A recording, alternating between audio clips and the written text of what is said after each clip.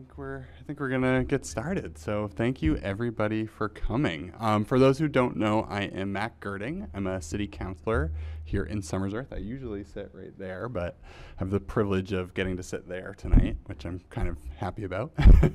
um, I'm also running for mayor for folks who haven't yet heard. So just a kind of shameless plug.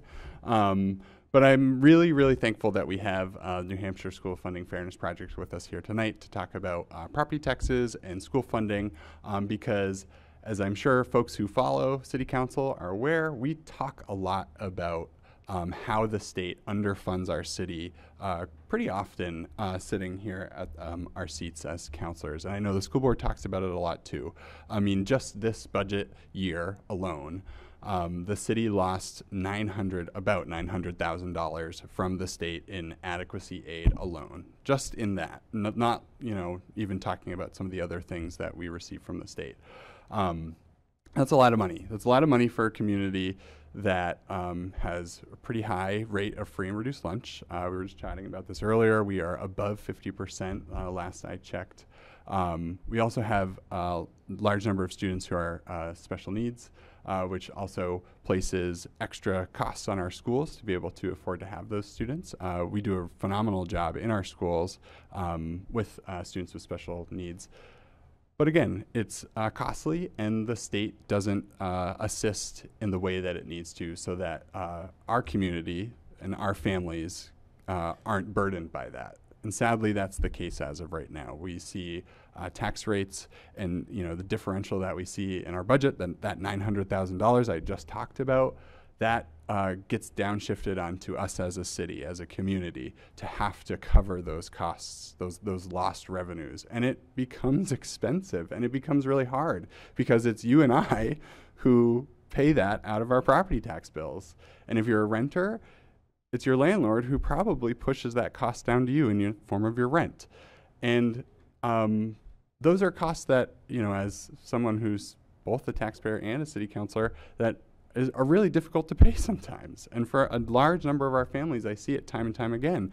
And I hear it time and time again that, oh, why are property taxes going up this year?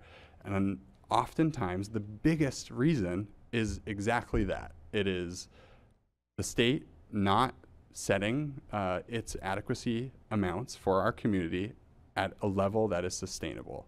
Um, and if it were to adequately address this problem and face it head on, I would bet you we would see our tax rate drop uh, significantly because a large portion of that those costs, a large, large portion of that money that we as a community have to pay out of our pockets would then instead come from the state and would be their responsibility, which is constitutionally how it is supposed to be.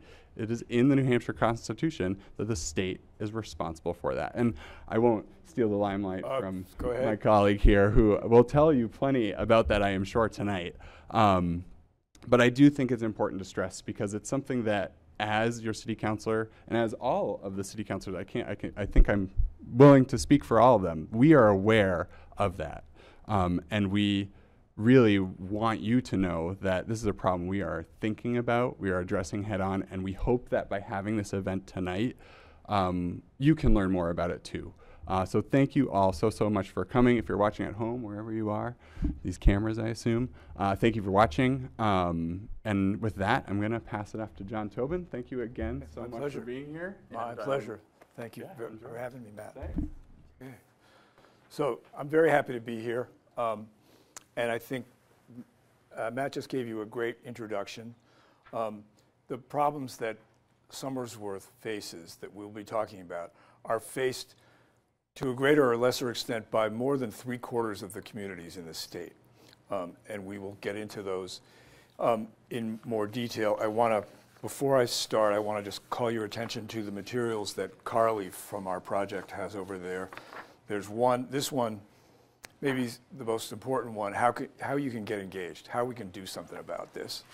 Then there's a paper um, that Carly did that has some of the details about the taxes and costs here in Somersworth, and I will touch on some of those. And then the third paper is about some of the educational consequences of this unfair system in um, Somersworth. So um, I've been at this a long time, and how I got into this whole question was um, as a young legal aid lawyer in Berlin. Um, and I became a parent, bought my first house, um, and Berlin at that time, this was in the mid 70s, was a thriving blue collar community that had strong schools. And, um, you know, kids did well there, and student, the teachers were um, well thought of. Um, and I, as a young parent, I was all fired up to make sure that the schools stayed good for my kids. So I went to the down to the city hall in Berlin, sort of like this place, all fired up to talk about you need to support this, the school budget. And then I saw that there were a lot of my elderly neighbors in the auditorium. And they said, We care about the schools. We want the schools to succeed, but we can't afford the property taxes. And that really a light went on for me. I could see how the current system pits elderly people against parents and educators um, in so many communities. So that's why I'm doing this. I was one of the lawyers in the Claremont case, working with Andy Volinsky and a number of other people. We thought we won. Um, we did win. The legislature made some half hearted attempts to improve the system and did put some more money into it, but as, as we'll talk about, in the last 20 years, they've really backpedaled. So um, I and some other people started this project, the School Funding Fairness Project. Carly is a staff person. I was uh, one of the founders and originally board chair, and now I've stepped back a little bit. Um, I'm still on the board, um, but um, our we are a nonpartisan organization seeking. It's really a civics project, seeking to educate people around the state about how this system works, the nuts and bolts of it, and then um, what they need to do as an exercise in democracy to try to change it. Um, there are also, there's a new round of lawsuits, and I'm involved in one of those, and I'll talk about those too. So the School Funding Fairness Project, we're trying to make the system more fair to students and taxpayers. And this is a picture of kids from Berlin. We um, Andy Volinsky and I did a presentation up there a few years ago, and uh, some of the kids in the graphic arts class created this banner and this slogan, and there was some city event in Berlin, and they marched through there. And, and we have this picture here to remind us about this is all about kids. This is about their futures and what they need to succeed. Um, and then um, um, this is the picture of the other side of it taxpayers, and particularly elderly taxpayers. Um, this system really strains people struggling to pay their property taxes. And when I was a legal aid lawyer, I had lots and lots of cases where people could no longer pay their taxes and they were in danger of using, losing their homes. And a lot, a lot of those were in places like Somersworth where the taxes were already high and the pressure was immense. The city leaders thought, God, if we give tax breaks, everybody will be entitled to one and we can't do it. And it was because the property tax system put everybody in a box. So this is about students and about taxpayers. Um, and as, as um, Matt said real well, neither students or taxpayers are treated fairly. The problem is getting worse, as you will see, and the current system is unconstitutional.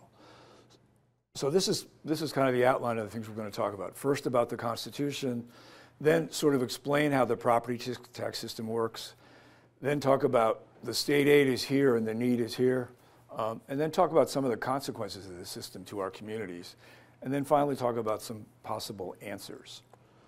Um, so the Constitution, the, the constitutional principles are pretty simple.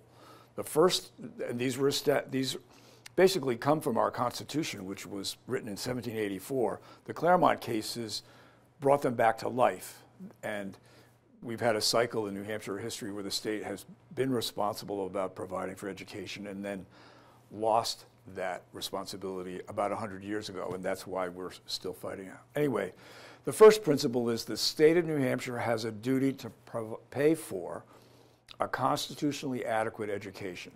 And that's an unfortunate phrase, constitutionally adequate, because it's more than adequate, and we'll talk about that in a minute. What does that phrase mean, constitutionally adequate? The other key principle is that whatever taxes the state picks to meet that duty, the rate has to be the same across the state. Um, you, you all know that the um, business profits tax or the interest and dividends tax or the rooms and meals tax, the rates, those are state taxes and the rates are the same across the state. That's the principle we're talking about.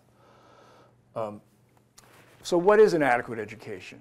It's not reading, writing, and arithmetic from the 1950s when I went to elementary school. The Supreme Court was very wise about this. They said it's not just that mere competence, it's giving kids the tools they need to succeed locally, regionally, nationally, and internationally in the 21st century. Um, and the court recognized that, and here's the quote. Um, it's about an exposure to science and technology and languages and politics and health, the things that kids need to succeed. Um, and so that's constitutionally adequate is an unfortunate phrase, but that's what the court meant. And then when what the court also said is whatever the state decides is constitutionally adequate, it has to pay for. It can't delegate that responsibility or slough off that responsibility to counties or towns. It has to pay for. It can delegate the work, and obviously we have local school districts with local school boards who play major roles. But in terms of paying for the responsibility, that's on the state, and they can't slip out of it, although they're trying. And what about property taxes? It's not. Uh, it's never up to the court to pick the way, the revenue source for paying for schools. But the court did say if the legislature picks property taxes as the way to meet this burden, the rate has to be the same across the state. So those are the constitutional principles. Um, and because because things have really backslid in the last 20 years, there are two new cases. One is called the Conval case, which is named after the Contoocook Valley Regional School District, and a number of other school districts joined. That one was filed in 2019. It went up to the, the trial judge ruled in favor of the school districts. The state appealed. The Supreme Court, after a year and a half, sent it back for a trial. That trial was held in April and May. So now it's up to the Superior Court judge to make a decision, and he's working on that. And he had three weeks of witnesses and things to, to digest and uh, sort out. So he, I'm sure he's working hard on it, and we hope we expect a decision within a month. Um, that's the sort of hint he's giving us. The second case is a more taxpayer focused case, the RAND case. That's the one I have a role in, and that's on behalf of taxpayers, business taxpayers and residential taxpayers, um, in places where the taxes are high because the tax base is low. And basically, the gist of that case is because the state is not paying for nearly uh, nothing close to the actual cost of an adequate education, local taxpayers like you all in Somersworth have to make up the difference. And because of varying property wealth, the rates that are charged across the state to make up that difference vary greatly in violation of that principle we were just talking about. So um, we had a trial scheduled in that case for September, and the judge put it off so that he could write the Conval decision, which will inform and guide what happens in the Rand case. So, um, and there are a couple of other crazy things involved in the Rand case. There's, you probably don't notice it, but on your property tax bill, there are two school taxes. There's one, the local tax, and one called the state-wide education tax. And that one has a very low rate, but there are a couple of interesting wrinkles to that um, that we are challenging. One is that in certain wealthy communities, because they're so wealthy, they raise some extra money, and that state money, it's a state tax, it should go back into the pot to help meet the state burden but they keep it and use it for their own. So they, those wealthy communities get essentially a, a break. They get, in essence, a lower rate. The other thing that we didn't even know about for a few years ago is there are a small number of places, many of which don't have many students or population, but a lot of valuable property, who don't pay the SWEPT at all. And essentially, the state allows them by doing what's called a negative tax rate. So we're challenging those two things in addition to the whole system we're awaiting a decision from the judge on that too. So this, it's unfortunate that I had to do this in my 40s and 50s and again in my 70s, um, but I'm hoping that this time it'll get finally straightened out. So that's the constitutional background. Now I want to talk about property taxes. And this is, this pie chart shows where the money comes from to pay for schools. In New Hampshire, we spend um, more than $3.5 billion a year on public schools. And the blue is the portion of that that comes from property taxes. And you can see 60% from the local taxes, 10% from the SWEPT, which is another property tax. So more than 70% of New Hampshire school funding comes from property taxes. The state, the, what the state kicks in is in the green. And to give, you know, to be fair, we can put the SWEPT in green and raise that percentage from about 20% to about 30%. But basically, local property taxpayers bear a huge burden, and the state only pays a small part of it. And one of the questions we used to get in this presentation a lot is what about the lottery? Lots of advertising about the lottery. The lottery is doing this and doing that, but you can see, in fact, in terms of yearly expenditures, it only covers about 4%. Um, so this, one of our themes is things got, have gotten worse. This is a chart about where all the new money has been raised um, in the last 10 years. As costs went up, who paid for those costs? You can see that more than $600 million new dollars came out of property taxpayers. Um, state adequacy aid, barely, barely anything. Um, somewhat, some federal aid.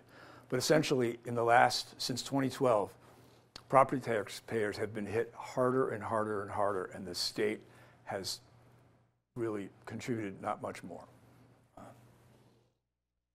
So this, I, I want to give you a little bit of information to put the property tax system in New Hampshire in perspective when you listen to news about the state and state taxes, we hear a lot about the business profits tax and the um, business enterprise tax, and recently about the interest and dividends tax. We'll look at this chart. Property taxes, um, the county tax, the municipal tax, and the, and the two school taxes are over $4 billion.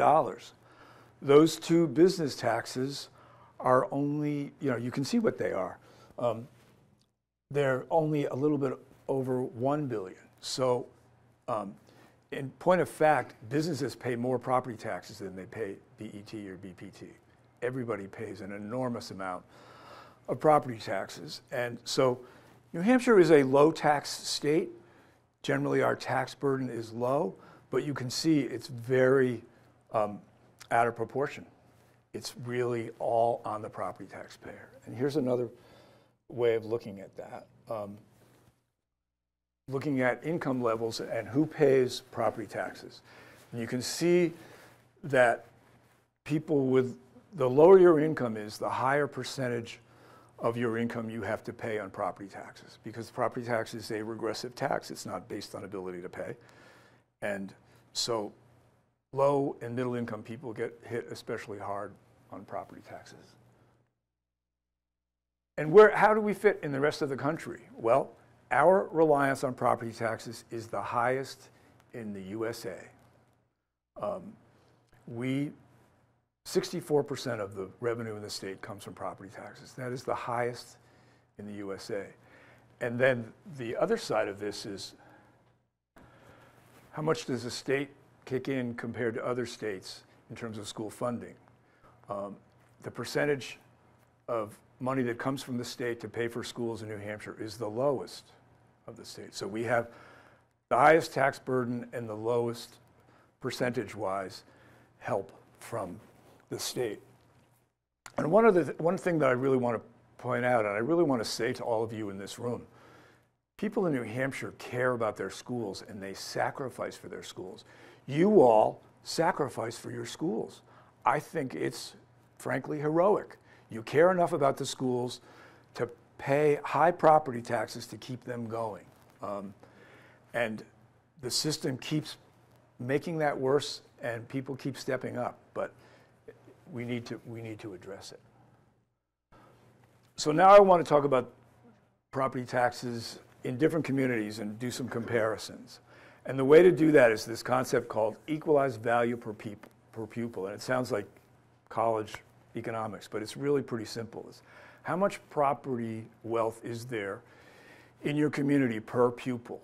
And the virtue of this is that it adjusts for different size school populations. And the DRA, the Department of Revenue Administration, adjusts for the fact that assessments take place at different times in different towns. So it's, it's calculated in a way to compare apples to apples in terms of tax rates um, across communities. So how does that work? And this is a, sort of a simple example. Imagine two communities. One has a total uh, property value in their community of a million dollars, and one has $400,000. And that disparity is actually small as compared to their places. Um, there are examples I can give you where one community's property value is 18 times another's, um, which is 100, which is 1,800 percent. Anyway, think about something that both of those school districts need that um, costs $10,000. Maybe it's a box of computers. Maybe it's a it's um, maybe it's the electric bill for their schools. Something that the cost is going to be the same from district to district to district. In district number one, that has $100,000 or a million dollars, I'm sorry, in property values, to raise that $100,000 for that box of books or computers or whatever it is, they need a tax rate of $10 per thousand. In that other community, that same tax rate will only raise $4,000. So in order for that other community that's less wealthy to get to that same cost figure, they have to have a rate of 25 per thousand. And that's, that, this in essence is the inequity in our system because the total property values in communities vary so greatly. People in the less property wealthy communities have to run faster and sacrifice more, and even so, uh, for the same thing, and even so, it's really hard to keep up. If kids and property were all distributed equally, no problem, but they're not. Um, and we have municipalities that were set up hundreds of years ago, economies that have really changed. So we have ve- really varying populations and economies in our communities. So here's Here's sort of an overview of how this plays out. Um, looking at um, certain communities, and what we try to do in this chart is pair communities that have about the same enrollment, um, but really different property wealth. And the, the, top line is the New Hampshire average. So we have 165,000 public school students in New Hampshire now. The a- average in the district, that means a little more than uh, one and a half billion dollars of property per kid. So the average tax rate is, you can see, a little less than ten dollars, and as property values have been growing recently, and so you can see how much that raised. Then go down just to Portsmouth and Milford. They have almost exactly the same number of kids, but look at the difference in property value per kid. In Portsmouth, it's 3.8 million. In Milford, it's a little more than a million. So Milford is much less than half of the state average. Um, and Portsmouth is well over twice the state average. So Portsmouth can have a much lower tax rate because they got all that property to tax and still raise a ton of money for their kids.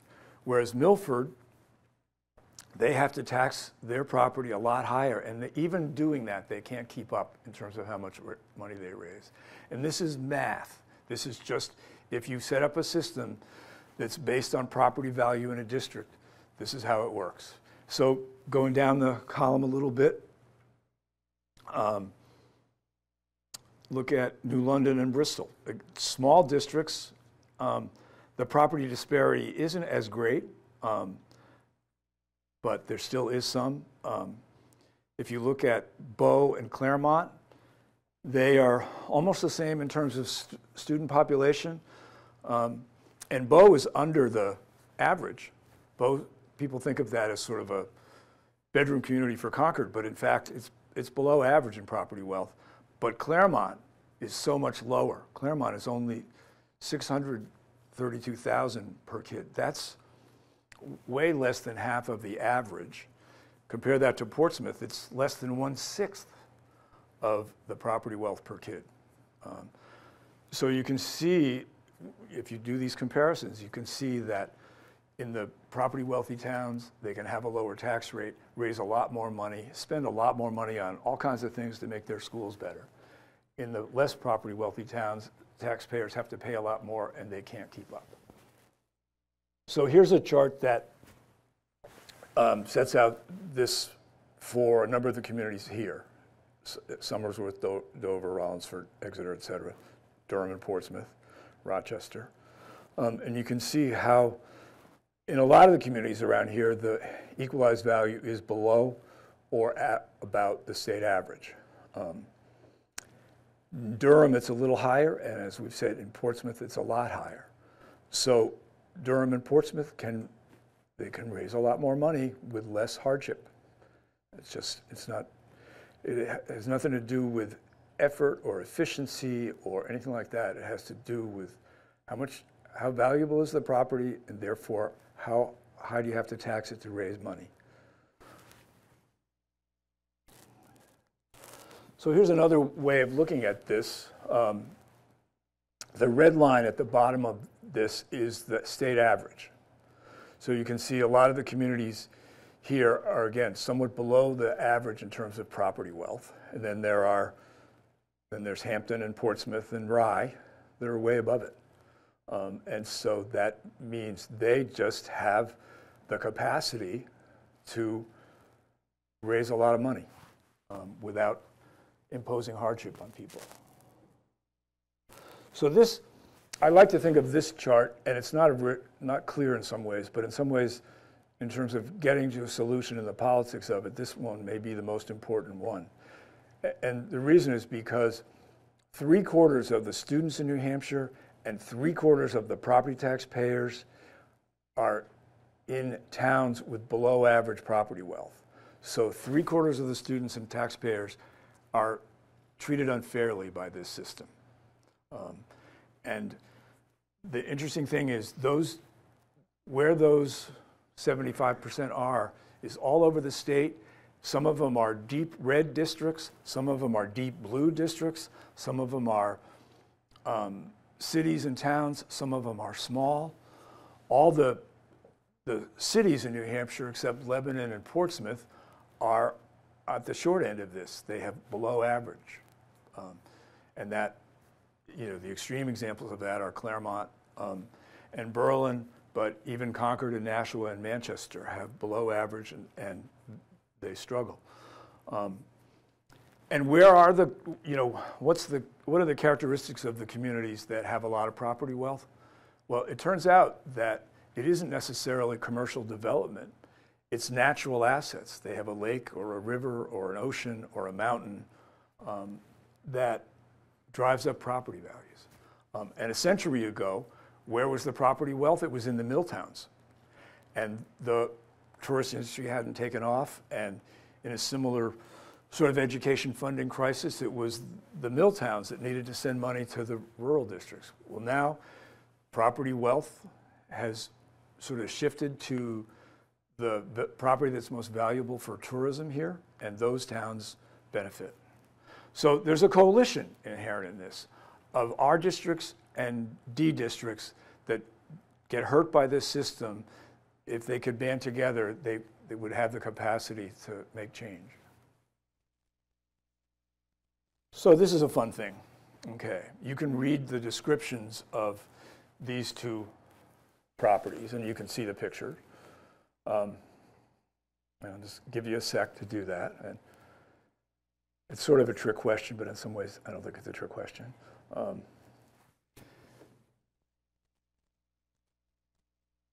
Rochester and Newington, uh, very different properties, but the one in Rochester, the taxes are higher. And again, it's a function of, there's a lot of property wealth in Newington. So a property that's very valuable there, um, they have a very low tax rate. And so, and in Rochester, which doesn't have the property wealth, even a property that's not, that's of modest value gets hit with an equivalent tax bill. Um.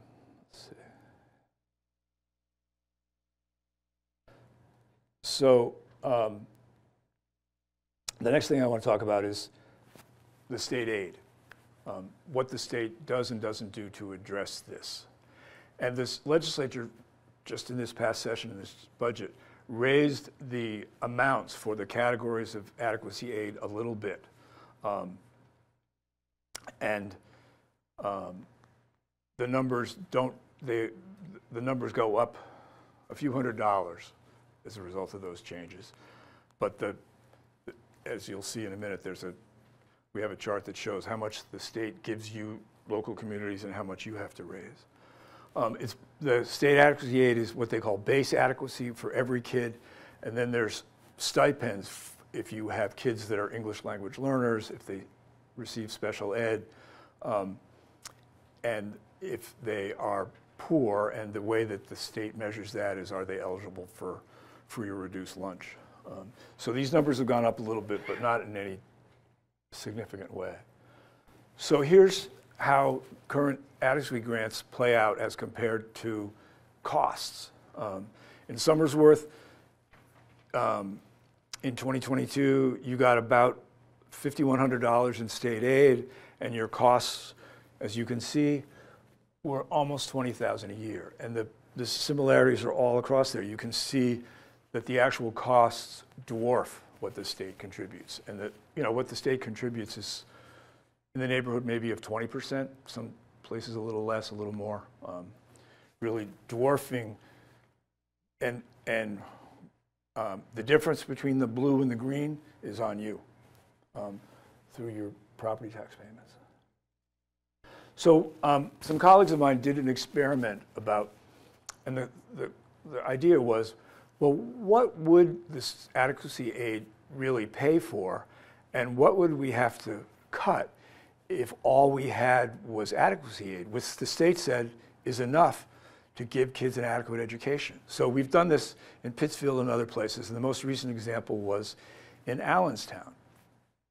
So according to the state's calculations, they thought Allenstown could provide an adequate education for less than $5,000 per year. Um, so the total amount that they were going to send was 2.4 million. The actual budget in Allenstown was about 12 million. So what uh, our colleague did with the business manager in that district, he said, what are we going to cut out of our actual budget so that we're only spending what the state gives us? How do we get down to that number? So we're, you know, we're supposedly meeting a responsibility, but we're not spending extra beyond adequacy. So they started cutting things. They got out the spreadsheets with all the costs. Um, cut out all busing, all support for English language learners, all special ed contracts, all supplies, copiers, insurance, plumbing and heating repairs, no art, no music, no PE equipment, no Chromebooks, no sports, no field trips. Um, three of the four custodians gone, and this is just the first page. Um, school board stipends, maybe we don't care about that, but um, no summer programs, no art teacher, no music teacher, no phys ed teacher, one of the two nurses gone, eliminate both guidance counselors, um, this, the technology people, still not there. Um, eliminate some of the special ed people, um, the reading specialist, the library person, um, no grounds maintenance, um, you know, no plowing, um, drop out of the SAU, and when they did that, they still weren't there. So the next thing they had to do was cut all the payments for their high school kids. Allenstown sends their kids to uh, Pembroke Academy. And they weren't even close to getting down to the state's figure. They said, okay, adequacy in Allenstown will stop at the eighth grade. Um, and then they still had to cut teachers and eliminate all kinds of things. So they had these higher student teacher ratios for grades five through eight, it would be 38 students per teacher, and no schools after eighth grade. And that's what the state would pay for.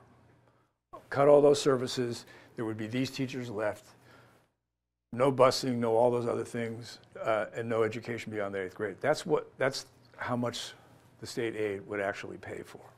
And there's no one in the world that could say that that's adequate education.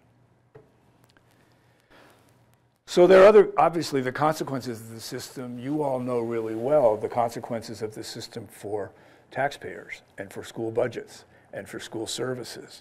Um, but there are other consequences too that, that go beyond that. Um, you know, one of the consequences is that certain districts can um, spend more for salaries. Um, if your taxes are already high, you have a hard time competing for teachers um, because of the tax burden. And so what does that mean? I had a, a principal tell me in a, in a uh, less property wealthy district that he felt like he was uh, the manager of the Pawtucket Red Sox. And they got new teachers and they were fired up and enthusiastic and they trained them and then they went down the road and got a, a salary of ten or fifteen thousand dollars more a year. Not that those salaries were going to make them millionaires, but the difference in terms of being able to live between a $40,000 salary and a $55,000 salary are significant. So you can see, again, if you look at Portsmouth, starting salaries are a lot higher. Um, and if you have a master's, um, you get a lot more money. And that has consequences. In lots of districts, the staff turnover is great because students or teachers get a little experience and they go somewhere else where they still can be teachers, but they're paid more. Um, and that has education consequences and morale consequences. One interesting example of how this works, how crazy it is, is this is, um, there's a uh, school district not real far from here called Timberlane, and it has these four towns. Um, and the way I think about this is imagine a kid, um, you know, sophomore biology class, and there's a girl from Danville, and her best friend is from Atkinson, and they're in the same class, and they get the same, they're basically getting the same education. It's identical education. But the parents of the girl from Danville are paying a much higher property tax rate because the property values in Danville are less than half of what they are in Atkinson. So um, even where people have made rational decisions to regionalize schools, there's still a lot of tension because the property wealth varies a lot, sometimes within those districts, and sometimes that pulls districts apart. Sometimes communities feel like, well, maybe we should just go on our own because we can do better, um, and we don't have to support this poor district. So the system currently makes it, you know, every school district for itself, um, and that has consequences too. So one of the other consequences is, and I, one way to think about this is to sort of step back from politics and say, all of us, conservative, liberal, Democrat, Republican, would want our state government to foster economic development fairly across the state. They wouldn't want our state to play favorites in terms of where economic development happens. Um, unfortunately, this school funding system, which, as you've seen, is the biggest tax operation going on in the state, does play favorites. It discourages economic development some places and encourages it other places. And the, as the mayor of Berlin said at a session like this, you know, why would a rational business person build a new factory in Berlin where the school system is struggling because it doesn't have enough money and the taxes are high, instead of taking that business somewhere else? So state policy, state tax policy does play favorites. And we know that. We know that some communities in our state are struggling and some are prospering. And there are a lot of factors at work in those things, but one of the factors at work is the inequities that this system creates and perpetuates and drives.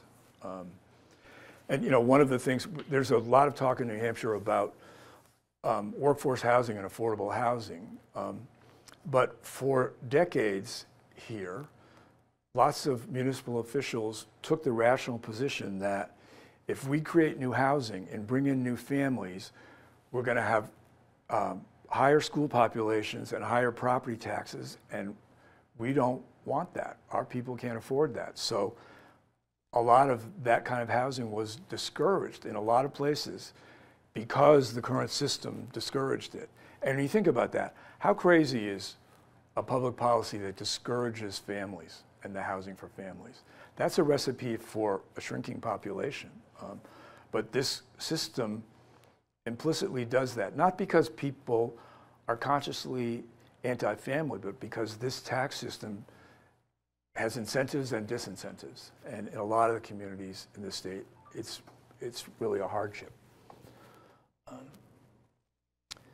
so this is a quick slide. There's some of this stuff in the stuff that Carly prepared the papers about um, student metrics. And um, I, am, I am sure that the people in this school district work really hard to, to do the best they can to give their kids what, what they can. But this, people in Somersworth don't have the assets in their school system that the people in Bow or Portsmouth or Hanover or Moultonborough have. And that inevitably plays out. Um, so now I want to talk about, well, what can we do about it? And the most important thing, um, again, in, and this flyer talks about a little bit, is to be in touch with your elected leaders to let them know that you want them to change it. And coming up in the next few weeks is um, some deadlines for senators and House members to file bills for the 2024 legislative session. So it would be, it's really timely to contact state reps, senators, and say, what bills are you filing or supporting to address this in the next legislative session? Um, what can we do? Um, and there, um, you know, there are lots of different ideas, but it's fair to ask them what, what do they have in mind to do about this property tax burden and its uh, disparities and disproportionality and um, how are they going to work on that? And one of the interesting things is if we're going to keep relying on property taxes, we need to have a, a, something so that people who truly can't afford them get tax relief without that coming out of their neighbor. Um, in other states, there are state programs to provide tax relief for low-income people. Some of them are called what's a circuit breaker. If your property taxes are above your income level, you only pay this and the state comes in and makes up the difference for your town. So the town gets its money, but the fact that you can't afford it doesn't come out of your neighbor's property taxes. So there are lots of ideas like that. The legislature has been considering some of them, uh, but they really need to hear from you. And if there's a lesson from Claremont case aftermath is that the legislature didn't hear enough from us about property taxes. And I think that property taxes in New Hampshire are something that we thought was, you know, there's nothing we can do about it. It's just a fact of life like winter. Well, in fact, there is a lot that can be done about it, and there are other places that don't do it this way. So now I just want to talk about a little bit about how else, um, how the money could be raised in other ways. And again, starting back with the pie chart, right now 70% of the money comes out of property taxes. If we decide that's great, we love our property taxes in New Hampshire, we could at least make the rate the same for everybody. And we could make sure that there's good, strong tax relief. Um, so in a lot of ways, what the, when you put a number to it, the state has downshifted $2.3 billion onto local property taxpayers like you. Uh, they're not paying. That's the difference between what they're um, paying and what the actual costs are. Um, so then what we really need to do um, is put that responsibility back on the state. That's where the Constitution says it's belong. The state has the resources. The state can spread that burden around. So that 2.3 billion is, has been downshifted. We need to upshift it. And that doesn't mean that uh, somebody from Massachusetts or Canada is going to pay the taxes, but it means that people in New Hampshire will pay taxes in a fair way. So in 2020, the legislature created a commission to try to look at this whole pro- problem. Um, and they hired a set of national experts who have studied school funding in a lot of states, and they they came to the conclusion that everybody else has. This system that we have now is unfair for taxpayers and for students.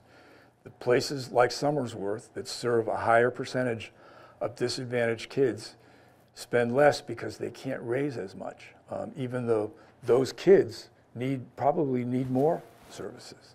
Um, and the, the districts that have fewer of those kids have more property wealth, so they, they, get a, be, a unfair deal both ways. Um, and, you know, they said that the negative relationship between uh, student outcomes and student poverty is really clear. Um, and so that's why we need to have state aid that focuses, that gives districts like Somersworth the resources they need to deal with the kids they have that need more services, need more help.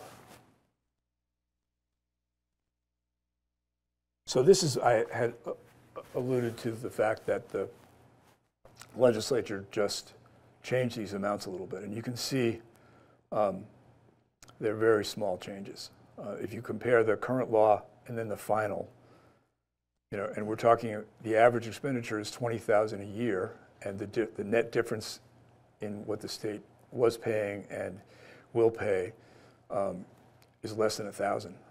Um, so it's very small change. And the other thing that they did, unfortunately, is they cut some aid that has helped places like Somersworth for a long time. Um, there's something called stabilization grants, which has a long history, but the origin of it was to give communities like Somersworth with less property wealth some extra money to make up the difference. Not all of the difference, um, but some of it. But in this latest budget, they decided to start cutting that back, and that, that's going to hurt here. It's going to hurt here. I, and uh, they also decided um, in that budget to repeal the interest and dividends tax. Um, and that's $135 million in state revenue. An awful lot of that money came from people with a lot of wealth. Um, so this is a list of places that this, this budget has what are called harmless grants um, to prevent some of those cuts from taking place right away. But they're going to get, those hold harmless grants are going to get cut by 20% a year. So they're trying to soften the blow of the fact that they're taking aid away from poor communities. Um, so how do we how do we raise revenue? Um, and he, we don't have a favorite among all of these. We think that's the legislature's job, and we think it's your ultimately your voice should be heard. But we, what we do think is really important is that you all know what the choices are and what the pros and cons are and um, how other states do this. So this is a list. We could go back to the business tax rates at 2015. Um, we could decide not to eliminate the interest and dividends tax. New Hampshire used to have an estate tax. Um, we could reinstate that. Um, we could do some new taxes on wealth. We could have a capital gains tax. We could have what's called a financial transactions tax, a very, you know, 0.001% tax on stock trading that people wouldn't even notice but would raise a lot of money. Um, we could have a true statewide property tax of about $10 per thousand, which would be lower than most places and would eliminate most local property taxes. And in places like Portsmouth, that means that their property taxes would go up. Places like Somersworth, they would go down. Um, we could mix and match. We could have a, a property tax, true statewide property tax of half that rate and fill in from some of these other sources. So there's a lot of different ways to bring this money in to doing something about the crazy property tax system we have. We have a lot of different choices. But but we need to let our legislators know that we want them to think about this. We want them to um, get the research done to figure out how much, you know, if the capital gains tax was 4%, what would it raise? Um, if the business taxes went back up to their prior levels, what would it raise? Um, so that then you have some pieces of information and you can make it into a puzzle and say, we need 2.3 billion, how do we get there? Which pieces? So here's how other states do it, and these are the, this is a discussion that sometimes get you, gets people struck dead by lightning in New Hampshire, but um, we need to at least give you the information about what's going on. Other places, lots of places have sales tax, including our neighboring states, or income taxes. And you can see in this chart how much those places raise through those taxes. We don't have to do it that way. There are lots, of the other menu that I showed you, um, we could do it without doing either of these things. Um, but but we sh people should know what the choices are in a meaningful way, what they would raise, you know, what the exemptions would be. We ought to have a discussion in the way that people have discussions about lots of things, financial things, before decisions get made. So this is where we're at. Right now, neither taxpayers nor students are treated equitably or fairly, and, and that's absolutely true of Somersworth and Rochester and Dover and many other places in New Hampshire. The state's downshifting its responsibility to property taxpayers like all of you. The system's gotten worse. Um, current system is unconstitutional, and it's on the mechanisms of our democracy, our state legislature, to fix it. Um, and they need to hear from us. They really need to hear from us. And that's what we're trying to make happen. So this is way, sort of a little thing that we say to summarize this up. Your tax burden and your educational opportunities as a kid shouldn't depend on your zip code. Um, it, you shouldn't get a vastly different educational opportunity if you live in Bow or Hanover than if you live somewhere else. It's just not fair. That's not what we believe in as a society. Um, and taxpayers, the same thing. So, um, what to do? Tell, talk to your friends and neighbors about it. Get on the case of the candidates. I admire people who run for office, but when they run for office, they sign up for um, being contacted again and again and again by their constituents. That's democracy. So don't feel bad about contacting them. That's what they're there for. They expect it. And I've heard legislators tell me if they hear from 10 people about an issue, they really take it seriously. Um, we have this legislature in New Hampshire that's pretty accessible because we have so many reps, and so they are accessible. They don't have staff, so they can't do their own research. But if you contact them, if 10 of you contact them, they will take notice. That's, that's the way it works. We, we do have democracy here. Um, share things on social media. Don't ask me how to do that, ask her. Um, but that's a, a, lot of that is going on. Um, and pay attention to this. We're going to um, we're going to send you a follow up to this session where you will be able to get the slides if you want. Um, and we just encourage you to keep this going. It's really, um, it's really on us as citizens. If we want to fix this, the mechanism is there, but we just have to be persistent and insistent. And the system, our political system in New Hampshire can respond if, if, it, if it hears from enough people. It can happen. So that's, the, that's who we are, Fair Funding, um, School Funding Fairness Project. Um, I'd be glad to answer questions.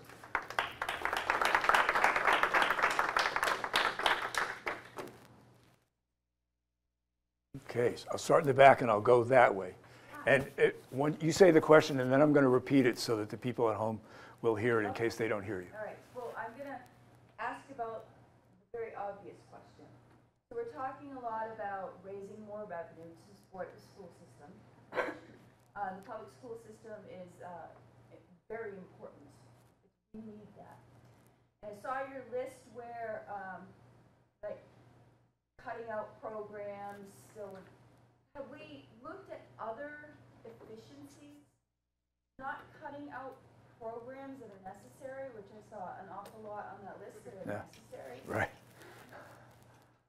Is anybody really looking hard at how to make the school system more efficient? For example, I think that the school, different school systems, I can't, I know I can't speak for Somersworth. Right. Hire vendors to come in and to, you know, to teach them, and they pay them. Do, I mean, do we look at things that we could spend less money on that are not necessary? Um, instead of just looking at raising more revenue? Very good question. And I think efficiency is really important. And I think that's something that school boards, and I think most of them are, thinking about and looking at a lot. And using technology. I mean, we all had an experience during the pandemic about the pros and cons of using technology. And people initially thought technology was going to really be great and we could do schooling from now on that way. And we found out that, in fact, in lots of ways, it's really, there are a few kids that benefit, but a lot of kids really suffer. So there are a lot of things to look at technology, um, different kinds of specialized training. There are, you know, we have a lot of kids and we have a lot of adults in our society now with mental health problems. And schools are starting to bring in mental health specialists instead of having the teacher teaching 25 kids and also trying to be a mental health counselor. Make a, such a counselor available so the teacher can identify that kid and that kid can get more help and the rest of the classroom go on. One of the other big things about efficiency is the structure of our school districts. And especially in, uh, uh, maybe not so much in this area, but in a lot of the rural areas, we have school districts that are small and the enrollments have gone down. And one might think that merging them or combining them would lead to some efficiencies in spending and lots of things. The system we're talking about really discourages that because if you're in District A and you have a little bit more property wealth than your neighboring district, you don't want to partner with them because you're going to get stuck supporting them because the state's not going to help you. Um, and so, if we improved our funding so that it was more equitable, that would open the gates for, I think, a lot of reorganization of school districts in rural areas, which has happened in other states. And I'm not saying that that's a panacea. There's, one of the things that's going on in the Contoocook Valley School District, that's the lead district in the case, that's a sprawling district. I think it's eight or nine towns. It's very, they could be more efficient if they had fewer elementary schools. They have eight or nine small elementary schools in those communities. Those communities are reluctant, for understandable reasons, to give up that elementary school. They could probably save some money. On the other hand, their kids would be on the buses for a longer time. So the challenges are great, but I think I- think there is room for innovation in structure, in instruction, um, in in who provides services. Um, I think there's there's lots of room, and I think that's part of what a good school board does, is ask those questions and teach yourself about what other people are doing. So, yes, next. You mentioned fairness a couple of times. I Thought it would be fair to allow either parents whose children don't attend the public school or individuals who don't have children to send to public schools to opt out of the share of their property taxes that would fund uh, another family's That's, that's a profound question, and let me answer it from my own experience. When I started school in 1954, not 1854, 1954, I, did, I didn't have any money, and my parents did not have money to send me to private school. Who paid for my public education? The other people in the town I lived in of multi generations um, because it was a community enterprise and it's an intergenerational responsibility. And now my kids are long gone and I have grandchildren, but they don't live in New Hampshire. But I feel very strongly that I want to give back. It's an intergenerational responsibility we have as communities, whether or not we happen to have kids in the public schools. Public schools are central to our society. If you travel around especially small communities in this state, they are central to people's lives. I was involved in the dispute in Croydon a year ago, where people came in and tried to cut that budget in half, which would have eliminated all the teachers, and they would have had some people who really weren't qualified come in and sit with people on computers. And across the ideological spectrum in Croydon, the Trump voters and the Biden voters, they all said, this little school in Croydon is really, it's a community enterprise, and our kids go there, and my, I went there. And so I think, I, I think we have a, a sort of political, moral, social, intergenerational obligation to support schools, even if we don't happen to have a kid in them. Quick follow-up question. Sure. Since you mentioned uh, Croydon, you talked about the intent to lower the budget. From what I understand, the intent was to lower the budget to match that of a nearby private school? Um, No, it was a pretty arbitrary percentage. Um, And it was done on a snowy school morn, school uh, meeting where very few people were there. Um, And it was, you know, the intent was to gut the public schools, and the people who brought it are, they're not fans of public schools, which one has a right to be in this, you know. One can advocate for the ab- abolition of public schools. It's a free country, but that's not what Croydon people wanted, and I think that's not what most people want. And I think most people cherish their schools.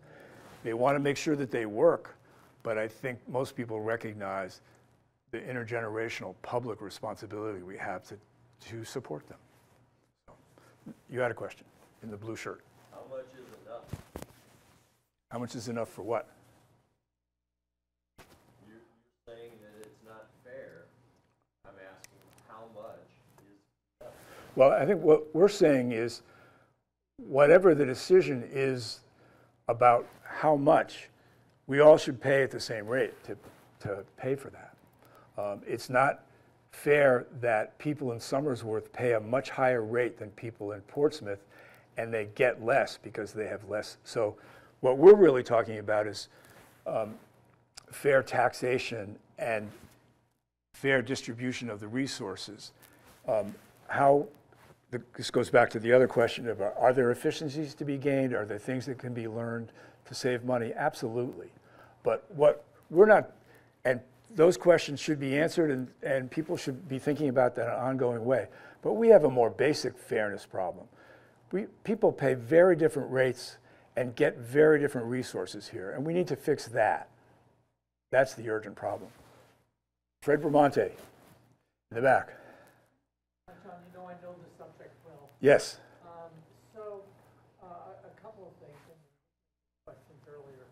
Um, The, the, when I looked at the possible solution, um, one of the concerns that uh, that I have is the difference between, so this, you know, that uh, um, lately, and I have not been, so I'm sure you are more familiar with I am, but, but my understanding was that, uh, first of all, that the Constitution only talks about taxation, It talks about a, um, whatever you use for a, a tax, it has to be a pro- a proportional rate across the state, Right, which we don't have right now. right. Because, you know, the uh, richest communities, the property richest communities in the state have found a way to get out of actually contributing.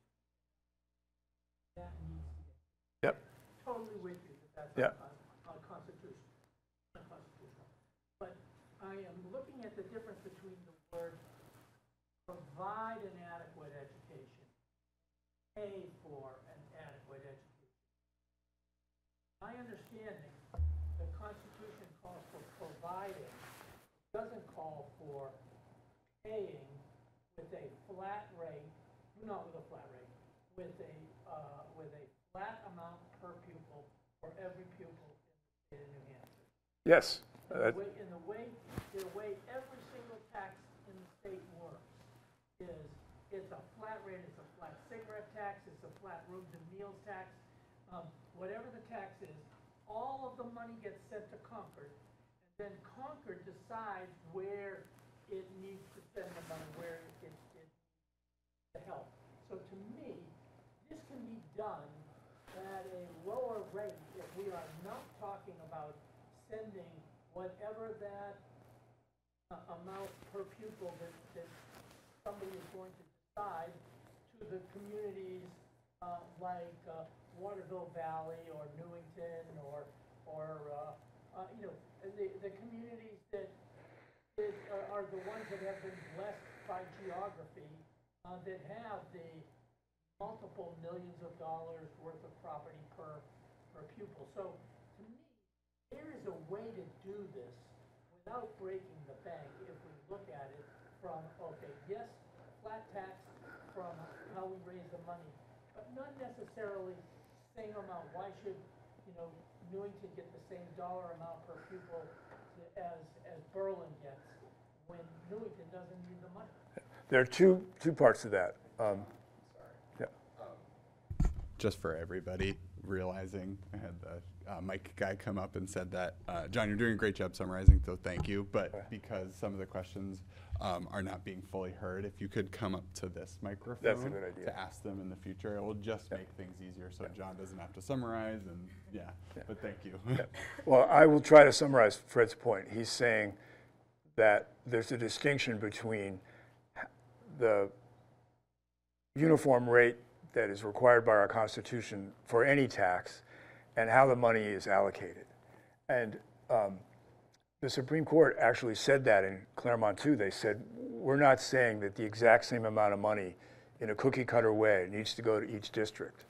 Um, and in fact, the, and the School Funding Commission said, you can probably pay for adequacy in Windham at $14,000, but in Manchester with kids who don't speak English, lots of special needs kids, poor kids, it's to, they need more services. It's to, maybe it'll cost 21 or 22,000. Um, and so the, the aid needs to be allocated according to the needs of each district. And, you know, in a rural district, they're going to spend more money on busing kids from 10 or 15 miles away than they spend in Manchester. Um, so each district is going to have different needs. But the point is, the core is a state responsibility. And we don't, you know, we don't decide that we're going to send less money to Newington for the post office or for roads or for any other state service because they happen to be wealthy.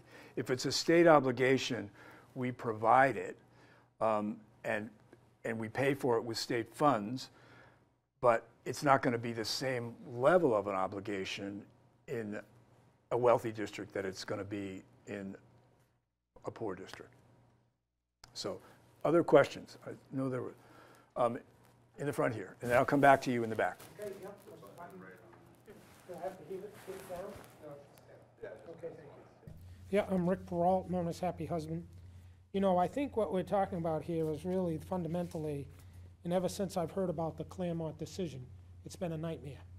And frankly, because, uh, you know, you're not going to adequately give equality to every student for every purpose. I don't believe in that. I believe that what we're talking about today is, okay, we need to raise a, or have the state pay. Well, the state pay are the people sitting here. Yeah. It- You know, so what we're asking is you want to reshift and reshuffle to get 22, uh, let me see if I understand, 2.3 billion out of the state of New Hampshire. Well, Yes. tw- that is not going to come out of the sky or drop down or do anything. I understand that. We don't have sales tax, we don't have that, and you look at the New Hampshire state burden uh, per national. And quite frankly, I believe it's the Claremont problem. Because, you know, I grew up in Somersworth and went to school in Somersworth, and I paid a lot of taxes here, okay? And quite frankly, I live in Rochester, and I have a home on Lake Winnipesaukee, so I know how to pay a lot of tax. And Good we're not you. gonna do less tax, and you're gonna tell somebody here today it's less tax. It's not less tax. We've got a two point three billion dollar shift that you want somehow magic in New Hampshire to somehow be some equity for everybody. Quite frankly, the school today, you know, we have less students. We just had uh, the Commissioner of E- uh, Education.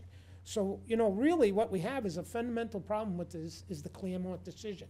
and maybe Claremont too, and you may have been involved with that, and I appreciate that, trying to fix something.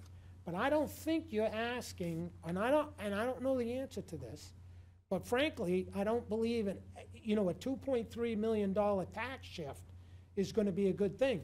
We have donor towns, and, uh, you know what, if your town can afford to educate the kids, let's, you know, have it in local control. Having state control this, I believe, is an error, and I believe Claremont caused the error.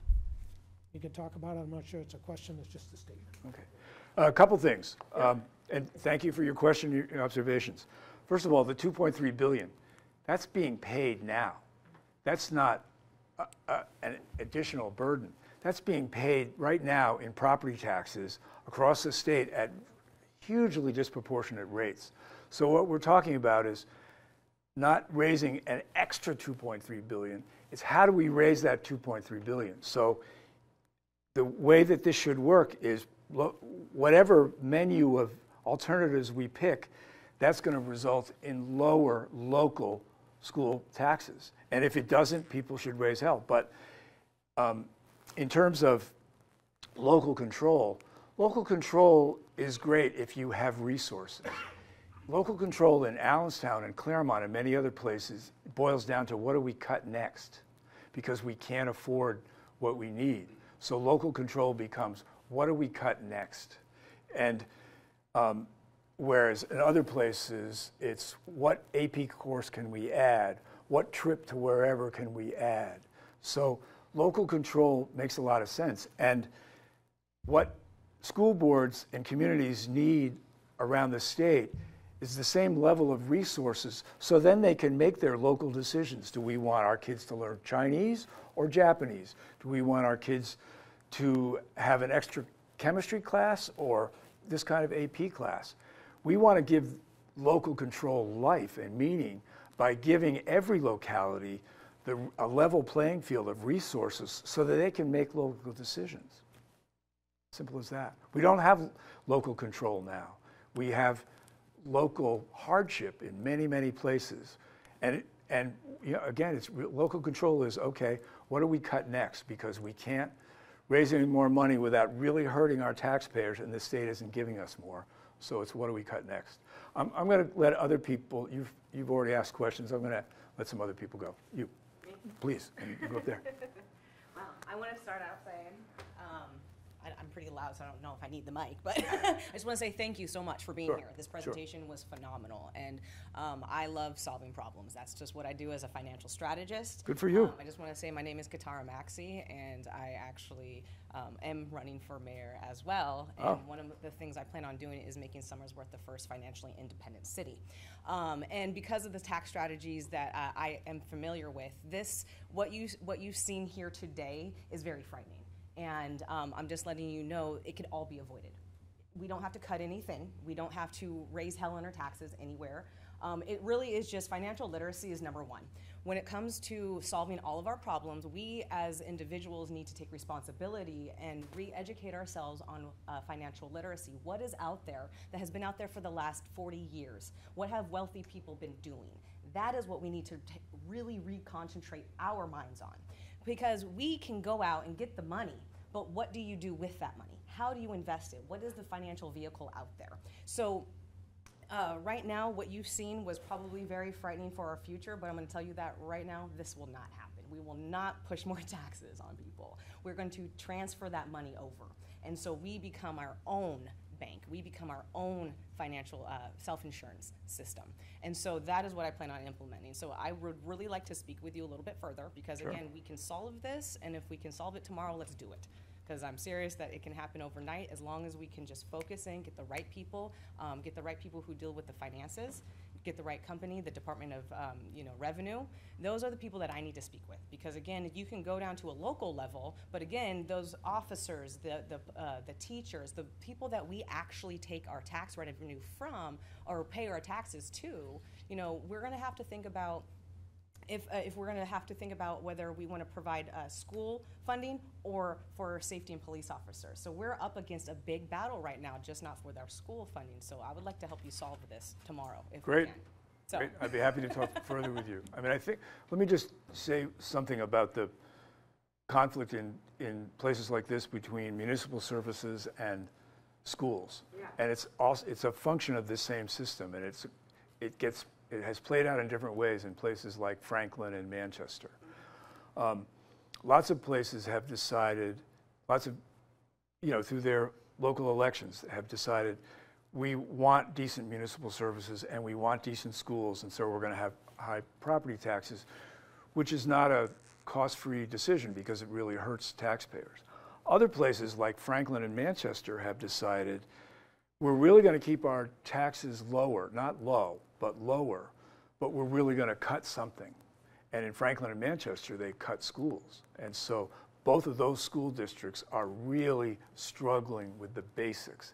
And test scores and everything else are really low in those places. And it's, it's sort of a rational Sophie's choice the, the leaders made. Our taxes, are, our people can't pay the taxes. So we're either going to have taxes that are really a burden or we're going to cut services. Berlin has decided to support its schools and its municipal services have suffered. But as long as, as it's a community that has less property wealth, you can try to slice it different ways. But if you have less wealth, um, then one part of what we all expect from government, or maybe both parts, are going to get hurt. So, um, yes, back there.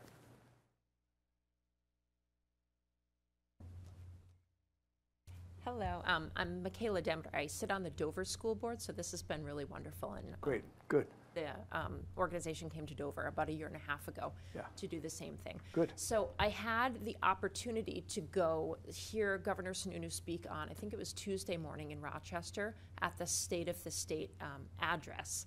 And I had asked him this question, and he gave a lot of political maneuvering and didn't really answer it. Um, so I am curious to hear your answer, which is um, we, those of us who have been paying attention to the lawsuits and the testimony, um, heard C- Education Commissioner Frank Edelblut say on record that he does not know how to define a constitutionally adequate education.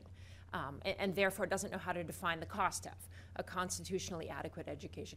Is this something that we're going to see? Is this something that we can or should? Well, we should. I'm not asking, I'm saying we should expect that from the Department of Education. Is this something we're actually going to see anytime in the future related to or outside of these lawsuits? Well, ideally, there shouldn't have to be a lawsuit. And when the question came up about whether state aid was enough, ideally, one would look to the Department of Education to try to update the figures and try to get, you know, some economists and financial people and education experts to come in and figure out those figures. Uh, Under this commissioner, he has stayed away from all of that. He has basically said, um, that's up to the legislature and I'm not getting involved. He didn't come and talk to the commission. He was invited to many times to, to talk to the commission about all of these issues and he didn't come. Uh, you know, I think that just says where his priorities are at. I don't think his priorities are public schools. Um, and, um, you know, again, it's a free country. You can have different priorities and speak about them, and he may be running for governor and talking about them. But, you know, in a time of struggle in a lot of school districts, um, he's not playing an active role, and he's not playing a leadership role. Um, and that's unfortunate. That's just really unfortunate. You know, and I think one of the interesting things is the expectations about him in that arena are really low at this point. I mean, we don't really expect him to show up, and we didn't really expect that he would say he had any interest in having anybody at the department take a crack at figuring out what the cost should be in 2023. So, um, you know, during different crises in public schools in the, you know, in the last couple of years, you know, Franklin's had some real issues, and so has Manchester, and he doesn't see his role as leader in those situations. He has other fish to fry. We know what they are. Again, he got, you know, he got appointed by the governor, and he got confirmed, and he got reappointed, and so he's there in favor of his policies, but he's not playing a leadership role in the public funding crisis. He just isn't. And um, we, we did a presentation just like this to the uh, State Board of Education um, a couple of years ago. He didn't ask a single question. Um, So it is almost 8:30. I'm happy to stay here till midnight, but some of you may want to leave. Um, So I- I don't know if there are any other questions that people have? Okay. Okay. Thank you very much for coming. I wouldn't mind asking another couple of questions. Come on up, you can ask me. I'm Ken Hilton, a, a Somersworth resident. When you say, what is the fairness to taxpayers uh, for their return on investment when funding increase, en- enrollments dropping, funding is increasing each year, enrollment's dropping, and the results are declining? So if, I mean, we pay, I pay property taxes here in Somersworth, and my daughter goes to a private Christian school, which the fun, with, which the cost, it's average here in Somersworth's twenty, twenty thousand, across the state's approximately twenty thousand. Her private Christian school is only about eight thousand, okay? So, but I'm, I, it cost me, I'm a plumber by trade, but it costs me twenty-eight thousand dollars a year for my child. Mm-hmm. And she doesn't get any of the education out of Somersworth, and Somersworth still gets the money. So I just, if, if we're talking fairness, like you're, you know, and I think, I think fair is a bad term because fairs come around once a year and they're really not that fun. So, uh, and I think that if you do the education freedom accounts, and you can send your kid to whatever school you would like to go to. It's going to create competition in the schools, private, public, every school. But it should be across the board that your fund, your tax money should be able to follow the student. Okay. um, What do you think of I'm that? happy to And answer. I, I, I agree that, you know, I'm, I'm all for getting rid of the property taxes, but we have to fund it some way. And there aren't enough rich people to, everyone has to pay. Like you said, you know, you feel like it's, it's important as an older person to pay. Well, I'm an older person too. Yep. So we all have to pay, but, you know, if, once you get competition into the public, private, across the parochial, everything, homeschool, you know, you can, if that, those taxpayer dollars can follow the student, you'd see education shoot through the roof. Well, let me, let me, or, let me answer some of your questions. Proficiency in 2018 here in, New- in Somersworth was 48% for English language. The price per student has gone up almost 5,000 in the, those years, and the quality of the ELA proficiency right now was 38%. So it's gone down, the quality, the 5,000, it's gone up five grand, almost $5,000 in, since 18 to 2022. But the quality of the education has gone down. And I, you know, I, I like the public schools. I went to public school. But the quality needs to pick up, and that's a challenge. Okay, let me, you, there were 10 questions in there, and I'll try to answer as many as I can. Because it's a complicated situation. It is. Um, let me just talk about um,